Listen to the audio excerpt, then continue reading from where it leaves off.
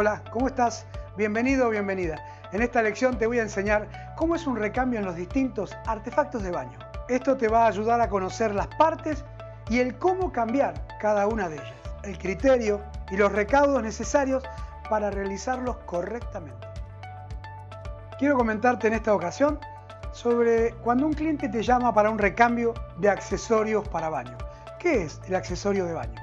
El accesorio de baño es inodoro, bidet, lavatorio.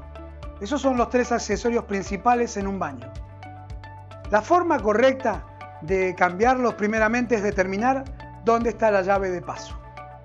Primero debes cerrar la llave para cualquier tipo de, de, situación o problema, evitar inconvenientes.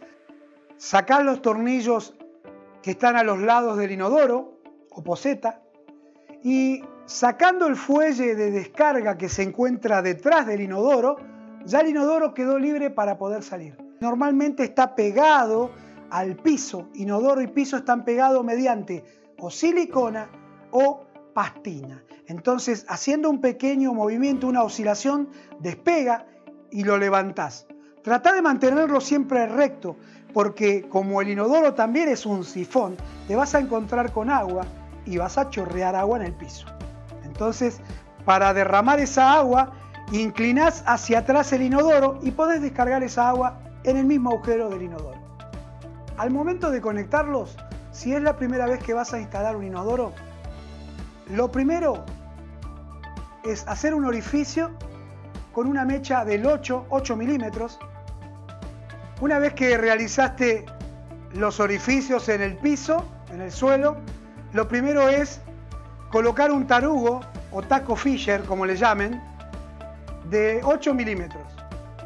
Luego, presentás el inodoro habiendo colocado este tornillo. Este tornillo, que es especialmente para inodoro, tiene una particularidad, que la cabeza se desenrosca. Entonces, vos vas a enroscarlo. Muchos vienen con eh, la cabeza para enroscar con llave de 11 milímetros y algunos de 10. Una vez que vos enroscaste estos en el tarugo, sacás la cabeza para que te permita colocar el inodoro, el artefacto, y al colocarlo hay algo elemental que no podés dejar de colocar, y es el protector de la losa.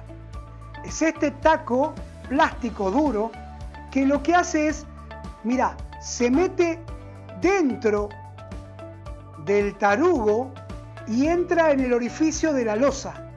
Lo que hace es, para que cuando vos, déjame mostrarte, cuando vos gires la tuerca y esto presione, esta cabeza del tornillo no parta la losa, ya que puede pasar. Entonces, este plástico que ves acá, lo que hace es salvaguardar la losa para que no se parta.